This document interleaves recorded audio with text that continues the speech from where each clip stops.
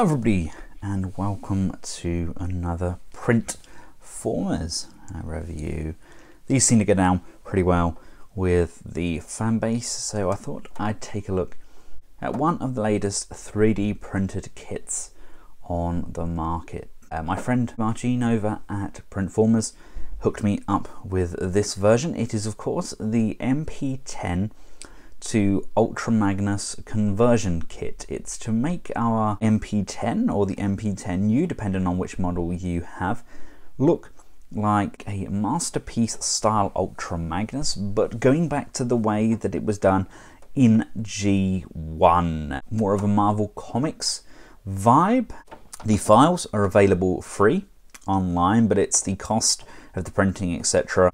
All the designer asks is that credit is given where credit is due. And before I take a look at the actual kit itself, we're going to have to transform our MP10 into his robot mode and then just switch things around a little bit. You want to just have the arms mounted around to the back with the fists out and you want the smokestacks facing downwards Uh, and you want these sections like so. Now I've actually got the modded arms. I wanted to try it with the Shadowfisher upgrades as well just to see if I can get it to work with this prime and you just have the grill sections coming out to the side and that's how prime needs to be before we can add the kit on. In essence we're doing exactly what we did with the original toy back in the 80s we had a white Optimus Prime and we'd fold his arms in as opposed to up and then clip his legs into the armor. Starting off with the legs, everything on this is 3D printed as a kit. Uh, if you look closely you can see the lines, that's what we get. Uh, when the printer prints these they basically come across like so, so it makes a weave of plastic. It just needs to be sanded in some areas, but the overall finish is pretty nice and it's a nice color. It's a lighter shade than the Masterpiece. It's much more in keeping with the original G1 toy. Now Marcin over at Printformers actually actually added a modified piece on, which is this section here. Uh, we'll cover that when we get to vehicle mode. It does have to be flexed slightly to get it over the latch like I said, we'll cover that when we do the transformation. And there's also a small stress mark on here as well, but that is not due to the printing. He said that's when he packaged it up. Uh, it got jammed and he didn't see and he snapped it off. But that's been glued and the bond seems pretty darn strong. So I think we should be more than okay to go ahead. Some people are saying why, if we've got a Masterpiece Ultra Magnus, we would want to buy an upgrade kit. It's because it's a huge homage to the original G1 toy, the Marvel Comics, and in essence, the Dreamwave comics, because they had Magnus as an individual soldier who donned this armor. Taking a look at the upper torso, in essence, it's made up of these three sections. We've got the feet, the torso, and then we have a waist piece. Uh, the head sculpt is pretty nice. It's, again, very kind of Marvel comics inspired. Uh, nice wide broad chest there. We have the flap that comes down over the cover. We have a large Autobot insignia on the side there. That is a sticker, but we do have these launchers on the side of each arm. Now you will notice that the arms themselves are quite loose and the articulation on the kit itself isn't amazing. It's not anything untoward. There we have the designer's branding on the underside there. Again, giving credit where credit is due, but it's an ingenious little thing. And not only is it available for the MP10, it's available for the MP10V, the version that was made by Kubianbao, and also the MPP10, the Weijiang version. So if you want to make a really huge oversized kit then the options the options definitely there but yeah even the look of the fists the like the plug-in fists that we got with the original toy I just wish my original Magnus had lasted as long as this and I could have done a nice comparison. But yeah, we do. It definitely looks like Magnus, doesn't it? There's no shadow of a doubt. Comes in so many pieces. Uh, luckily enough, uh, this was pre-built when it was sent over to me. But the instructions are all online alongside the design. Uh, I'll include a link in the description below. And then we get the hip and waist pieces which clip around and it does exactly what it says on the tin. Nothing untoward there, just a nice big hip skirt. Accessory wise, mine did come with a gun, but as you can see, the gun has been damaged in transit. Now you can glue that, and the bond is meant to be very strong on this plastic once it's been glued. But yep, mine arrived damaged, unfortunately. And we get three alternative faces. We get a very kind of stern look. We get the red faced look, and then we get the open mouth again. We'll cover how these are installed when we take a look at Magnus as a whole. And lastly, we get this very overexposed panel uh, for the back, which clips over. Uh, but yeah, again, done in a nice, strong plastic. I'll actually include the link to um, Marcin's video as well, because he does explain the differences in the kit and the assembly and how different types of plastic will be better for certain areas. Well, let's start by bringing in this torso section. You've got this flap at the back that goes upwards and our prime is going to come in. The head goes between that gap. The fists slide in and the whole piece just rocks and locks in like so. That's fitted in there nicely. Move the gun holster section down. This clip comes down and then moving that back up, it pushes and locks that onto the back. We can then bring in that hook section that we saw earlier on and that just slides in to the back like so, finishing that back piece off. Bring this waist panel down. We need that down at this point, so when we slide the crotch plate on, there's these two grooves here and those hooks are going to hook either side of those grooves which just helps everything to line up nicely and lock into place come around to the back flaps fold inwards we can bring this piece down and this piece down. And at this point we're at that kind of awkward stage where Prime looks like he's been hitting the gym but he's missed absolutely every leg day. Uh, next task is to point Prime's toes down. The toe section comes up. This piece lifts up like so and comes to the front and this piece drops down to the back. That now allows us to have room in there for the gas tank.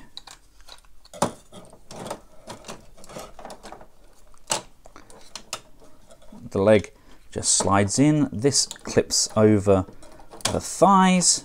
It's very, very clever indeed. I love how everything kind of works in unison and then these can come back over and there's a notch just here that just hooks over the back of the tires. Here we have him fully transformed up. Uh, it's a lot more difficult to pose a big bot like this on a small little tiny turntable than I initially expected. I'll just pop this piece off as well. It does all go on really nicely and as you can see from the back there this will definitely benefit from using the MP10U KO or maybe the new 711 Optimus Prime, uh, but the kit itself is ruddy genius.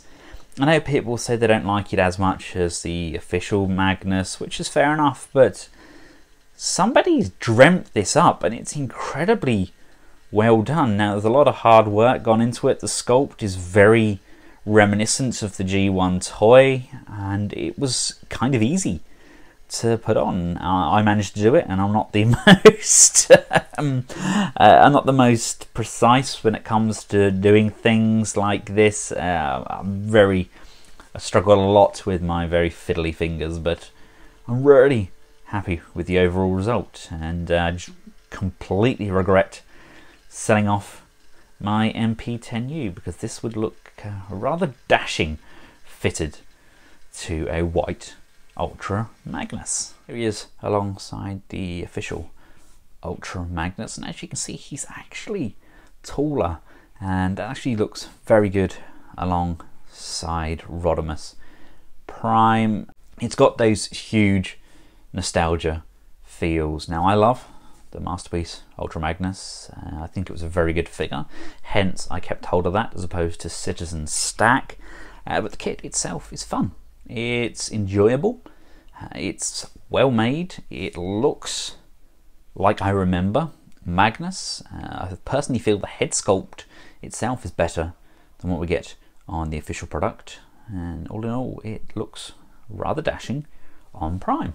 Right, now let's take a closer look. As you can see, that's a very nice head sculpt on there. We have left and right rotation, we have up and down pivot as well. Now the shoulders, uh, that's kind of where this product fails the most, unfortunately. The shoulders can kind of go up and down and we can tilt inwards and outwards, but there's no real resistance there.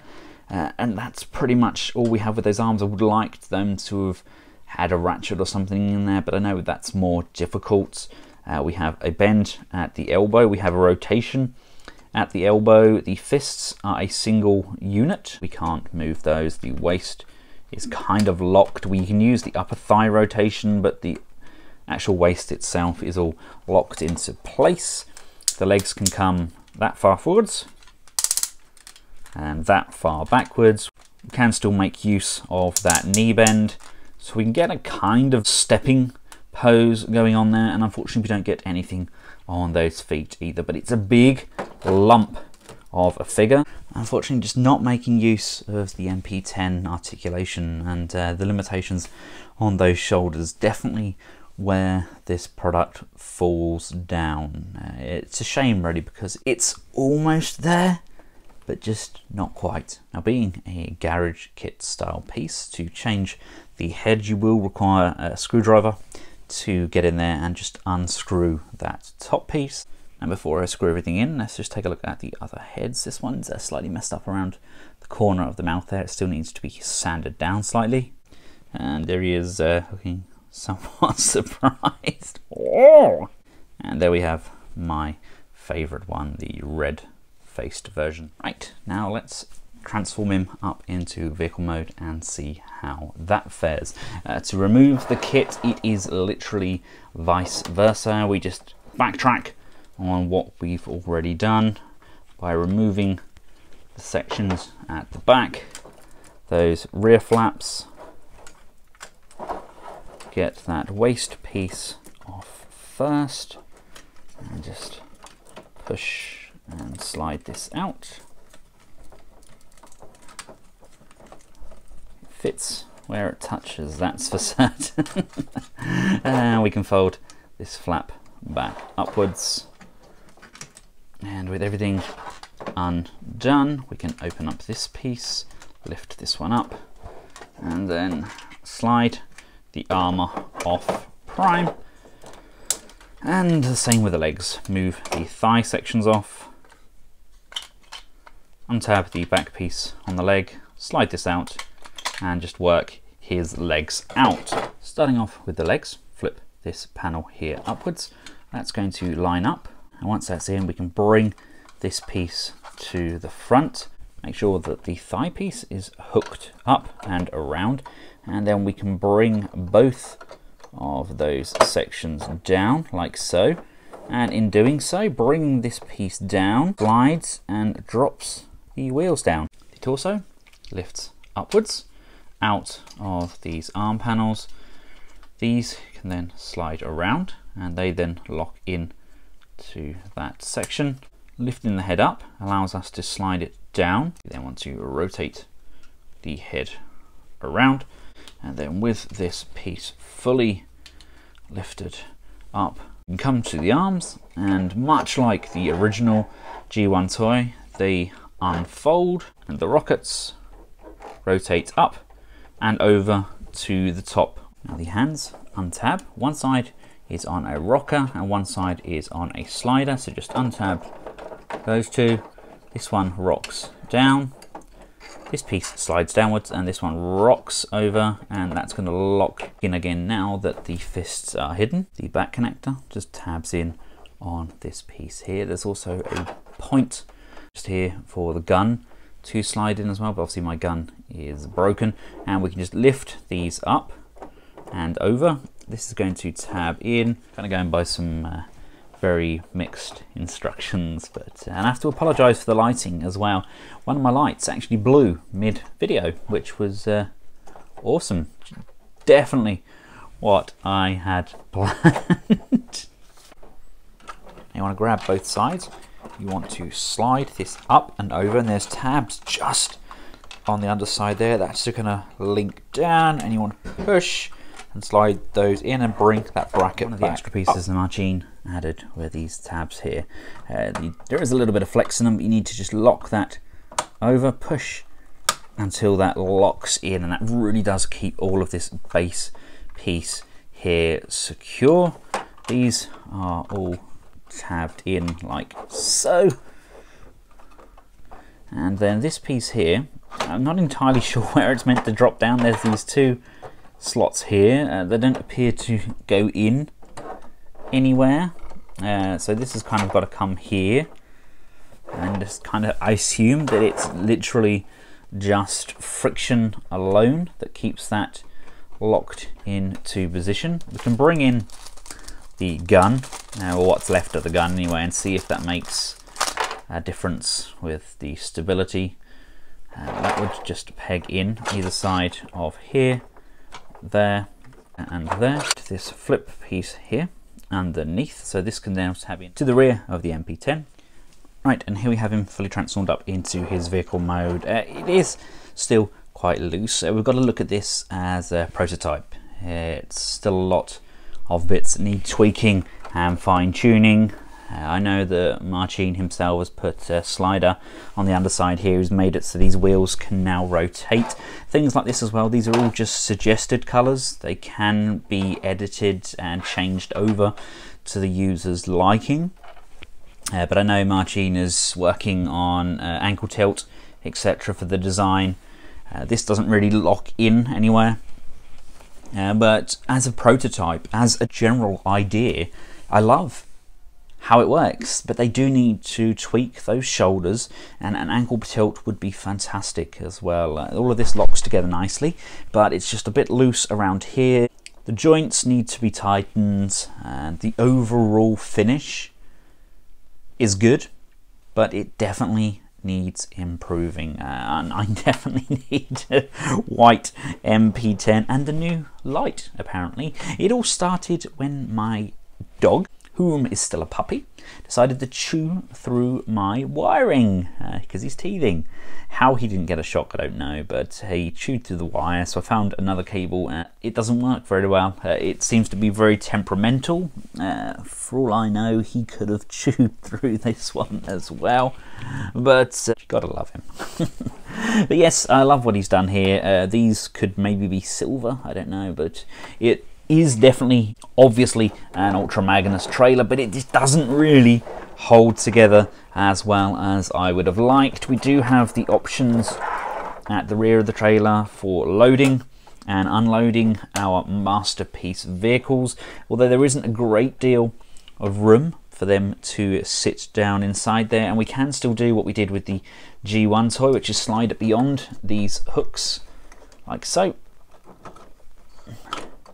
and bring that down and then they can ramp up onto the top level as well. So there we have it ladies and gentlemen, the Ultra Magnus upgrade kit uh, with a few tweaks of course by Printformers. Let me know your thoughts in the comments section below. Now bear in mind obviously this is a prototype, it is a work in progress, uh, but I have to give props to the designer. The idea has been floating around for quite some time, but getting it to work in practice, uh, it's very refreshing.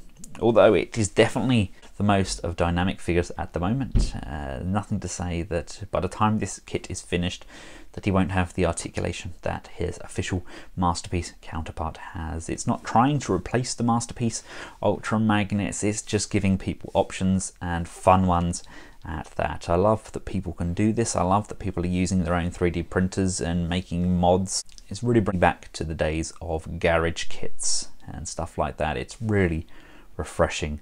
Now somebody please sculpt me a Red Hulk head for my Marvel Select Red Hulk. because It doesn't look anything like Ross, does it? Uh, the old general needs like a tash, need a decent sculpted head. Somebody do that for me. I'm sure you guys out there have some amazing sculpting skills. Once again, I'd like to thank Printformers for letting me have a look at this test shot and I really do look forward to seeing what else he can tweak and fine tune. Props again to the designer that made this file available free. I've included a link to all of those in the description section below. Until next time for myself and Ultra Magnus Prime. ah, goodbye.